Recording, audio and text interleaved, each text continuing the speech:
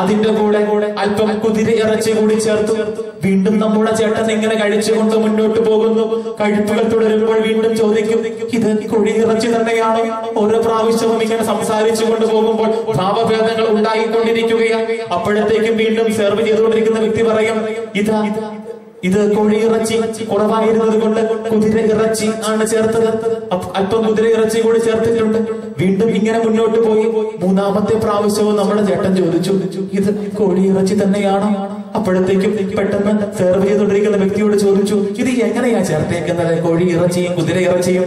അപ്പോഴത്തേക്കും പെട്ടെന്ന് നമ്മുടെ സെർവ് ചെയ്തുകൊണ്ടിരിക്കുന്ന വ്യക്തി പറഞ്ഞു പപ്പാതി പപ്പാതിയാണ് ചേർത്തിരിക്കുന്നത്. കോഴിയും കുതിരയും പപ്പാതിയാണ് ചേർത്തിരിക്കുന്നത്.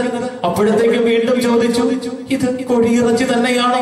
അപ്പോഴത്തേക്കും സെർവ് ചെയ്തുകൊണ്ടിരിക്കുന്ന വ്യക്തിയോട് ചോദിച്ചു എങ്ങനെയാ ചേർത്തേക്കുന്നത് അപ്പോഴത്തേക്കും പെട്ടെന്ന് നമ്മുടെ സെർവ് ചെയ്തുകൊണ്ടിരിക്കുന്ന വ്യക്തി പറഞ്ഞു ഒരു കോഴിക്ക് ഒരു കുതിര ഒരു കോഴിക്ക് ഒരു കുതിര എന്നുള്ള അനുതാപത്തിലാണ് അല്ലെങ്കിൽ ആ ഒരു ഈസ്റ്റു എന്നുള്ള കണക്കിലാണ് വൺ ഈസ്റ്റു വൺ എന്നുള്ള ആ ഒരു കണക്കിൽ ഒരു കോഴിക്ക് ഒരു കുതിര എന്നുള്ള ആ- ഒരു ഈസ്റ്റു കണക്കിലാണ് ആര് ചേർത്തിരിക്കുന്നത്?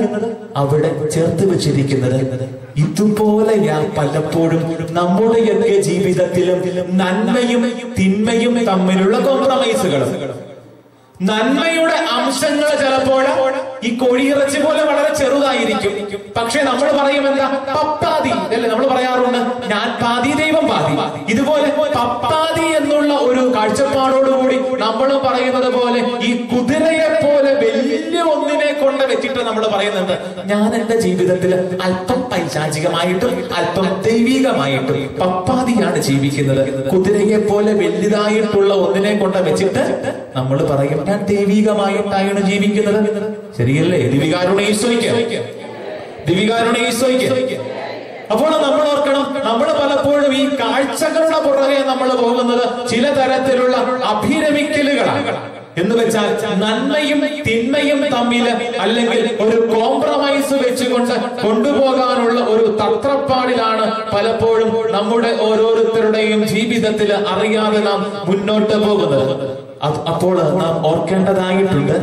എന്റെ ജീവിതത്തിലെ ഈ നന്മകളും തിന്മകളും ഒരു കോംപ്രമൈസിലൊക്കെ കൊണ്ടുപോകുന്ന ഒരു ചിന്ത എന്നുള്ളതാണെന്ന് ഈ നിസ്സംഗത. അതുകൊണ്ട് ഞാൻ പറയാനായിട്ട് ആഗ്രഹിക്കുന്നു ഈ പരിശുദ്ധ പിതാവ് കഴിഞ്ഞ ഇടയ്ക്ക് ഈ നോമ്പുകാല ചിന്തയെ കുറിച്ച് മനോഹരമായിട്ട് നോമ്പുകാലത്തിൽ നാം മാറ്റിയെടുക്കേണ്ട വലിയ ഒരു പാപത്തെ കുറിച്ച് പറഞ്ഞത് ഇതിനെ കുറിച്ചാണ് നിസ്സംഗത എന്നുള്ള പാപമാണ് മനുഷ്യൻ ആധുനിക കാലഘട്ടത്തിൽ ഒരു വ്യക്തിയുടെ ജീവിതത്തിൽ നിന്നും മാറ്റി കളയേണ്ടത് ശരിയല്ലേ? ശരിയാണോ? അതെ. ദിവികാരുടെ ഈശോയ്ക്ക്. ഞാൻ ഏറ്റവും നല്ല ഒരു ഉദാഹരണം ഞാൻ പറഞ്ഞു വെക്കാം. നിസ്സംഗതയ്ക്ക് നമ്മൾ ഈ മല്ലപ്പള്ളിയിൽ നിന്നും നിങ്ങൾ ബസ്സിൽ കയറി. ശരിയല്ലേ? ബസ്സിൽ കയറിയപ്പോൾ നിങ്ങൾക്ക് ഇരിക്കാനായിട്ട് സീറ്റ് കിട്ടി. ഇങ്ങനെ ഇരിക്കാനായിട്ട് സീറ്റ് കിട്ടി. ഇതാ ഇതാ ഓരോരോ സ്റ്റോപ്പുകൾ കഴിയും തോറും ആൾക്കാരുടെ എണ്ണം ഇങ്ങനെ കൂടിക്കൂടി കൂടി വന്നു. ബസ്സിൽ നിറച്ച ആളുകളായിക്കൊണ്ടിരിക്കുന്നു. ഇവിടെ ഇരിക്കുന്ന ഇവിടെ ഇരിക്കുന്ന നിങ്ങൾക്കൊക്കെ സീറ്റ് കിട്ടിയെന്ന് നിങ്ങൾ വിചാരിക്കുക. ഇതാ ബസ് പതുക്കെ കറുകച്ചാല ഭാഗത്തേക്ക് നീങ്ങുന്നു. കറുകച്ചാല സ്റ്റാൻഡിലെത്തി. ഇതാ അവിടെ നിന്ന് ഒക്കത്തെ ഒരു കൊച്ചുമായിട്ട് ഒരു ചേച്ചി ബസ്സിലേക്ക് കയറി. ഇതാ ചേച്ചിക്ക് ഇരിക്കാനായിട്ട് സീറ്റൊന്നുമില്ല. ചേച്ചി അങ്ങോട്ടും ഇങ്ങോട്ടും നോക്കുന്നു. ആ ചേച്ചി ബസ്സിൽ കയറിയ മാത്രയിൽ ഇരിക്കുന്ന ചേട്ടന്മാരും ചേച്ചിമാരും ഒക്കെ എന്ത് ചെയ്യുമെന്നറിയാമോ? അവരൊക്കെ എഴുന്നേറ്റ് കൊടുക്കുന്നതിന് പകരം അവരൊക്കെ പെട്ടെന്ന് ഉറക്കം നടിക്കും. ആദ്യമേ അവരെന്തെടുക്കും? ഇങ്ങോട്ട് തല. അല്പം കഴിയുമ്പോൾ ഇങ്ങോട്ട് തല. എന്നിട്ട് ഒരു കണ്ണ് അടച്ചിട്ട് നോക്കും. അവർക്ക് സീറ്റ് കിട്ടിയോ? കാരണം കണ്ടാൽ എന്ത് വേണം? ഞാൻ എഴുന്നേറ്റ് കൊടുക്കണം. അതുകൊണ്ട് നമ്മൾ എന്തെടുക്കും കണ്ടില്ലെന്നുള്ള ചില നടിപ്പുകൾ. കണ്ടില്ലെന്നുള്ള ചില നടിപ്പുകൾ അതാണ് നിസ്സംഗത എന്ന് പറയുന്നത്. അതാണ് നിസ്സംഗത എന്ന് പറയുന്നത്. കാരണം കാണണം എന്നുള്ളത് കൊണ്ട് ഞാൻ എന്തെടുക്കും കണ്ണടച്ച് പിടിക്കും. കണ്ടുപോയാലോ എനിക്ക് മാറ്റം വരും. അതുകൊണ്ട് എന്തെടുക്കും? ഞാൻ കണ്ണടച്ച് ഉറക്കം നടിക്കും. ഇതാണ് ഈ നിസ്സംഗത എന്നുള്ളത്. നമ്മുടെ ഓരോരുത്തരുടെയും മനസ്സിലും അറിയാതെ കിടക്കുന്നതും ഇത് തന്നെയാണ്. ഈ ലൂക്കായുടെ സുവിശേഷം പത്തൊൻപതാം അധ്യായത്തിൽ നാം ലാസറിന്റെയും ധനവാന്റെയും ഉപമയിലും നാം കാണുന്നത് എന്താ? ഈ ഒരു ഒരു നിസ്സംഗതയാണ്. ധനവാനാണെങ്കിൽ വലിയ പാപം വല്ലതും ചെയ്തെന്ന് നമുക്ക് കേൾക്കുന്നുണ്ടോ? ഇല്ല അവരൊന്നും ചെയ്യുന്നില്ല. അല്ലേ? ശരിയല്ലേ? അവൻ ഒന്നും ചെയ്തില്ല എന്നുള്ളത് അവന്റെ പാപം. ഓക്കെ? അവൻ ഒന്നും ചെയ്തില്ല എന്നുള്ളതാണ് അവന്റെ പാപം. അല്ലാതെ അവൻ ഭക്ഷണം കൊടുത്തു അല്ലെങ്കിൽ അവൻ അങ്ങോട്ടും ഇങ്ങോട്ടും പോയി അല്ലെങ്കിൽ അവൻ ലാസറിനെ അടിച്ചെന്നോ പട്ടിയെ കൊണ്ട് കടിപ്പിച്ചെന്നോ അല്ലെങ്കിൽ അവിടെയുള്ള വേലക്കാരെ വിളിപ്പിച്ചിട്ട് അവന്റെ കരണക്കുറ്റിക്കിട്ട് നോക്കി കൊടുത്തിട്ട് പുറത്തേക്ക് ഉന്തിക്കൊണ്ടുപോയെന്ന വല്ല വചനം പറയുന്നുണ്ടോ? പക്ഷെ ധനവാൻ പോയത് എങ്ങോട്ടാണെന്നാ പറയുന്നത്? അവൻ നരകക്കെണിയിലേക്ക് പോയെന്നാ പറയുന്നത്. കാരണം എന്താ? അവൻ ചെയ്യേണ്ടതായിട്ടുള്ള ഒരു കർമ്മത്തെ അവൻ ചെയ്യാതെ അതിനെതിരെ കണ്ണടച്ചു. ദിവികാരുടെ ഈശോയ്ക്ക്. ദിവികാരുടെ ഈശോയ്ക്ക്. ദിവികാരുടെ ഈശോയ്ക്ക്.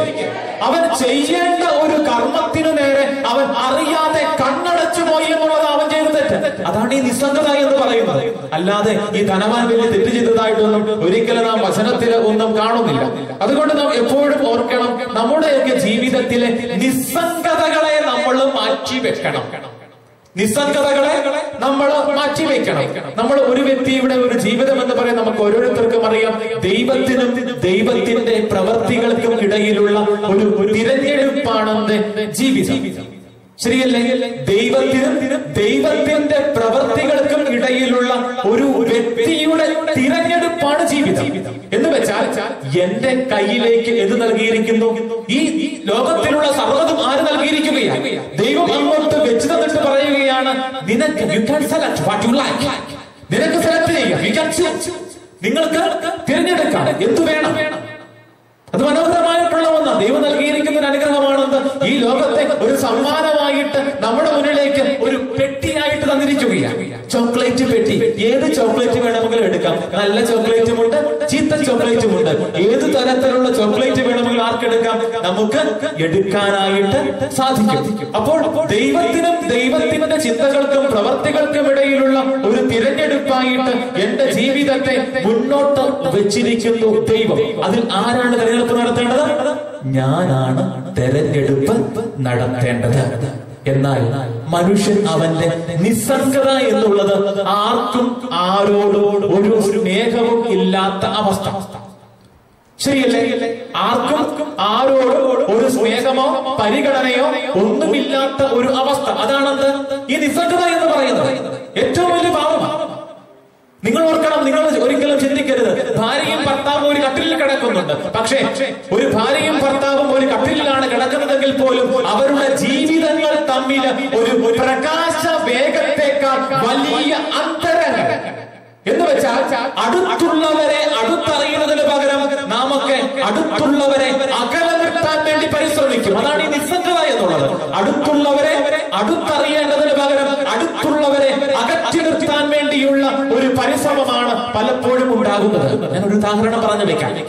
ഒരിക്കൽ തിരുവനന്തപുരത്ത് നിന്നും രണ്ട് കുട്ടികൾ അവരുടെ യാത്ര ആരംഭിക്കുന്നു. എവിടെയാണെന്ന് അറിയാമോ നമ്മുടെ ഈ മുംബൈ എക്സ്പ്രസിലാണ് അവർ യാത്ര.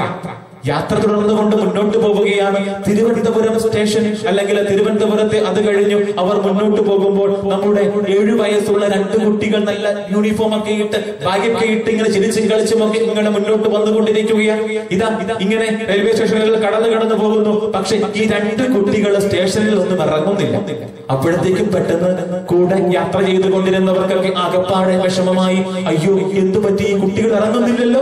അപ്പോഴത്തേക്കും അവർ എന്തെടുത്തു? പെട്ടെന്ന് ചൈൽഡ് ഹെൽപ്പ് ലൈനിൽ അവരാണെങ്കിൽ പരാതിപ്പെടുകയാണ്.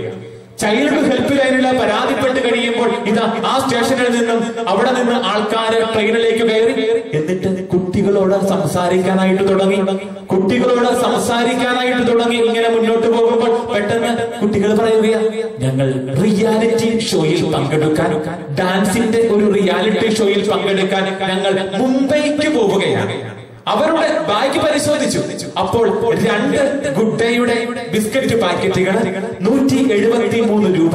ആറ് വീതം പുസ്തകങ്ങൾ. രണ്ടുപേരും ഒരേ ക്ലാസ്സിൽ പഠിക്കുന്നവരാണ്. ആറ് വീതമുള്ള പുസ്തകങ്ങൾ. അപ്പോൾ ഇതാ ചൈൽഡ് ഹെൽപ്പ് ലൈനിൽ നിന്നും കടന്നു വന്നവർ ആ പുസ്തകത്താളുകളൊക്കെ അങ്ങോട്ടും ഇങ്ങോട്ടും ഒക്കെ ഒന്ന് മറിച്ചു നോക്കി. നോക്കി എല്ലാ പുസ്തകത്തിന്റെയും ഒന്നാമത്തെ പേജിൽ അവർ രണ്ടുപേരും ഒരേപോലത്തെ രണ്ട് വാക്കുകൾ എഴുതിയിട്ടിട്ടുണ്ട്. രണ്ടുപേരും രണ്ട് വാക്കുകൾ ആ പുസ്തകത്തിന്റെ ഒന്നാമത്തെ പേജിൽ എഴുതി വെച്ചിരിക്കുകയാണ്. ഒന്നാമത്തെ വാചകം പോകുന്നത് ഇപ്രകാരമാണ് ഐ ഹേറ്റ് മൈ ഡാഡ് രണ്ടാമത്തെ വാചകം ഐ ഹേറ്റ് മൈ മാം ഞാൻ എന്റെ അപ്പനെ വെറുക്കുന്നു ഞാൻ എന്റെ അമ്മയെ വെറുക്കുന്നു. രണ്ടു മക്കൾ നല്ല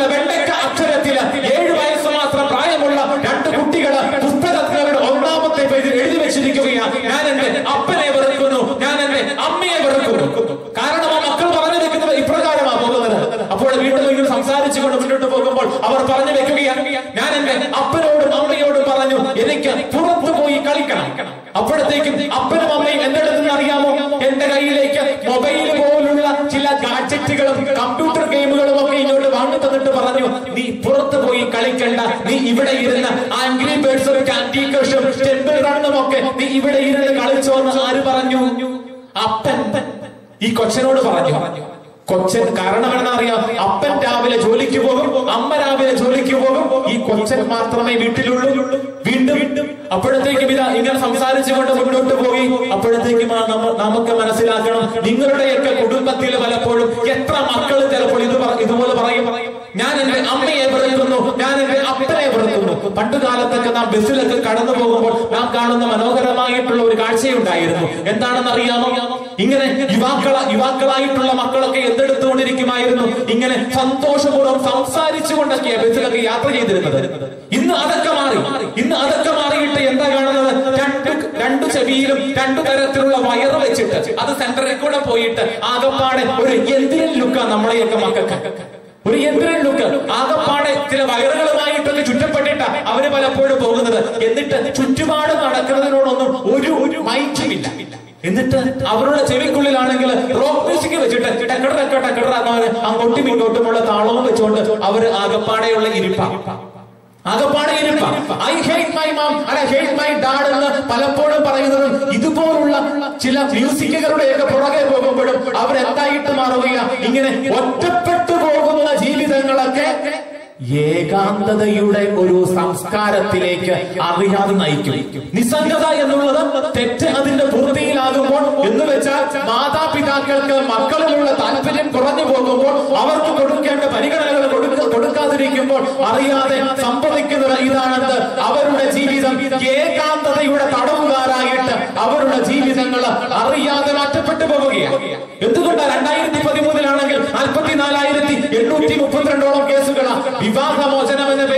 രജിസ്റ്റർ കാരണം എന്താ?